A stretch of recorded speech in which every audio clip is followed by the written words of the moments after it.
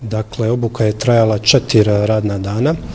Izvođena je na aerodromu u Golubovcima u simulacijonom centru Gepsus. E, šta smo naučili? Pa naučili smo vjerovatno dosta toga iz razloga što niko od nas nije bio upućen u ovaj dio ranije, samom dijelu simulacije i nadam se da znanja koja smo ovdje usvojili će se upotrijebiti za i dobuku ostalih generacija da će ovaj simulacioni centar postati kao trening centar gdje možemo obučiti što naše kolege, što pripadnike iz različitih civilnih struktura, jer u slučaju elementarne nepogoda svi smo zajedno, jel da?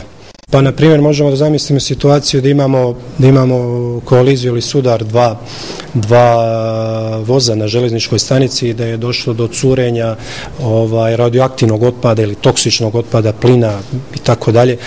I sad prestoje koraci kako to spriječiti, kako spriječiti da se ta disperzija, znači da se raširi, koji su koraci postavljanja zatvaranja puteva prilaznih, zatim alarmiranja a, alarmiranja ovih institucija u civilstvu zaduženih za pomoć od policije, vatrogasaca, zdravstva i tako dalje, zatim obezbeđenja sigurne rute za extraction point, za izvlačenje ljudi, jel tako, zatim a, označavanja ruta do samih civilnih institucija, ako neko želi sam da ode sebi da potraži pomoći, slično.